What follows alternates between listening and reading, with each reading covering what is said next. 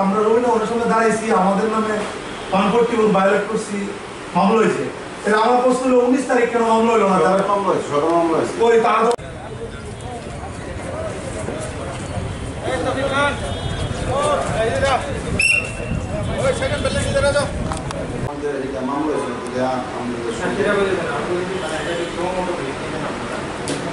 মামলা হয়েছে মামলা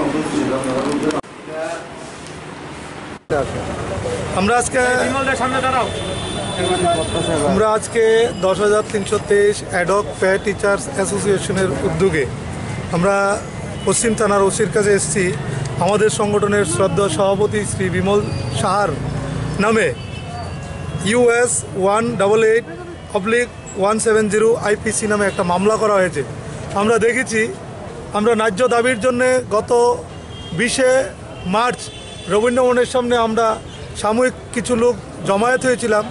সেখানে আমাদের আমাদের সংগঠনের কিছু শিক্ষকের নামে উদ্দেশ্য প্রণোদিতভাবে এই মামলার কাগজ ধরিয়ে দিয়েছে। আমরা দেখেছি একে একে কয়েকজনের নামের নোটিশ এসেছে। আজকে শ্রদ্ধ বিমলদার নামে এসছে। আমরা জানতে এসেছি কী কারণে দেওয়া হয়েছে বিমলদার নামে।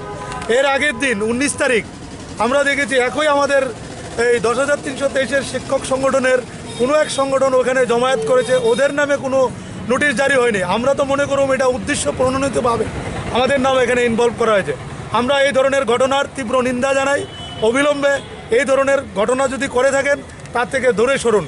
আমরা, তাই আমরা আজকে এখানে আমাদের পশ্চিম থানার ওসি সাহেবের কাছে আমরা জানতে এসেছি।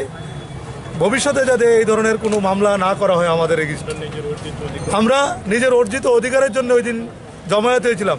আপনারা শুনেছেন গতকালকে এই চাকরি হারার টেনশনে গতকালকে আমাদের এক বাগমার শালগড়ের এক শিক্ষক, মিঠুন দেবনাথ, অকালে এই অল্প বয়সে টেনশনে স্টেজে চাকরি হারার ভয়ে গতকালকে প্রাণ হারিয়েছেন। আমরা এই ঘটনার সুষ্ঠু তদন্ত চাই। আমরা শুনেছি ওনার পরিবারের পক্ষ থেকে, উনি নাকি বিনা চিকিৎসায় মারা গেছেন। আমরা রাজ্যের স্বাস্থ্যমন্ত্রীর কাছে তার সুষ্ঠু তদন্ত চেয়েছি যারা এই মানে স্বাস্থ্য দপ্তরে নেগলেন্সি করেছে তাদের জন্য উপযুক্ত শাস্তি প্রদান করা হয়, এ আমরা সংগঠনের থেকে দাবি করেছি। এবং ওনার পরিবারের একজনকে যারা এখন অবধি আমরা দেখেছি, প্রায় পঞ্চান্ন জন আমাদের এই দশ হাজার তিনশো শিক্ষকের মধ্যে মারা গেছেন। তাদের পরের তাদের প্রত্যেকের পরিবারকে একজন করে সরকারি চাকরি প্রদান করতে হবে। পাশাপাশি আমরা যারা আছি, তাদেরকে অবিলম্বে এই মে মাসের মধ্যেই আমাদেরকে স্থায়ী সমাধান করতে হবে। নাহলে কিন্তু আমরা আমরা পরবর্তী সাংগঠনিকভাবে সিদ্ধান্ত নিয়ে আমরা আমরা আমাদের কর্মসূচি জারি রাখব। পাশাপাশি বিমল বাবুর বিরুদ্ধে মামলা আর- কয়জনের বিরুদ্ধে হয়েছে মামলা? আমরা এরকম আমরা ছয় সাত জনের নাম স্পেসিফিক শুনতে পেয়েছি। কালকে বিমলদা আমাদেরকে বলেছে আমরা সবাই এখানে এসেছি ওসি সাহেবের সঙ্গে ব্যাপারটা জানতে।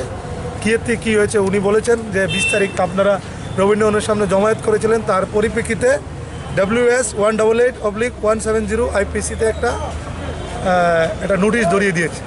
তার ক্ল্যারিফিকেশনের জন্য আমরা আজকে পশ্চিম থানায় এসেছি। হ্যাঁ আইএলএসে আরেকজন আপনারা শুনেছেন গত পরশু দিন উনি ডিসচার্জ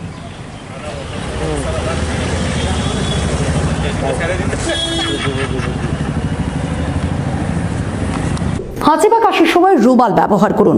ভালো করে হাত ধুয়ে নিন বারবার করে। প্রতিদিন ঘর, দরজা, জানালা ইত্যাদি পরিষ্কার করুন এবং পরিষ্কার করার সময় অবশ্যই মাস্ক ব্যবহার করুন। যাতে করে পরিষ্কার করার সময় কোনো ধুলোবালি নাকে প্রবেশ না করে। প্রতিদিন হ্যান্ড স্যানিটাইজার ব্যবহার করুন। হ্যান্ড স্যানিটাইজারের পরিবর্তে আপনারা সাবান জলও ব্যবহার করতে পারেন।